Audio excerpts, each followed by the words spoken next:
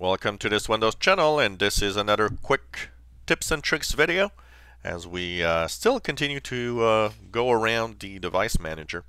Today's video is um, a quick fix I would say if there are issues with a specific hardware on your computer.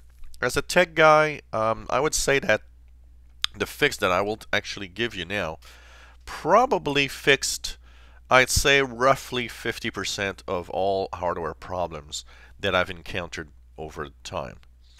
So the other 50% of course is different problems or a bad driver. But this quick fix um, has a 50-50 chance of fixing or um, making something go better um, with the drivers, with hardware on your machine. So what you do is you go into the device manager in Windows 7. You can go to the device manager uh, by going to the uh, control panel.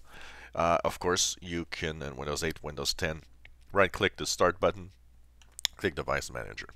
So basically what you want to do is uninstall and reinstall the faulty driver. So here I'm going to take as an example my webcam on this computer. So how does it work? When you uninstall a driver in the PC, it still is in the computer. It's just that you've uninstalled it from Windows. So basically, you can right click and you'll click the uninstall button and you'll click OK, you're about to remove this. And it's removed from the machine. Now you're wondering, okay, but how, how do I reinstall it? Simple. All you have to do is go on the top to Actions and click Scan for Hardware Changes. Here, it's going to say, oh, okay, I found hardware, and as you see here, it reinstalled my Toshiba webcam driver.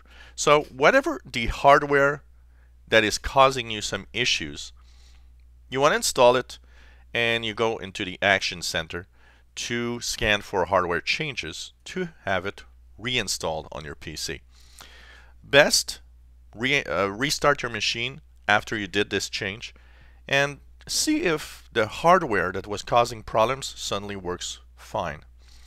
This also might work in cases where you see that a driver has a uh, yellow triangle or a little uh, red X or something because something is wrong or missing. Uh, it sometimes can fix that also. So check it out. It's um, one of the first things that I would try if I had an issue with a specific piece of hardware in my PC. If you enjoy my videos, please subscribe to my channel. You'll be informed when new videos are online. Give us thumbs up and hope you enjoy these little tips and tricks video.